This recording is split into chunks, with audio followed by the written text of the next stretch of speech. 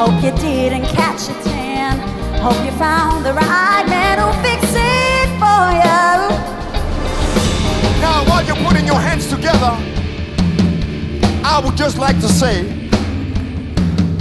right here, right now, calling out around.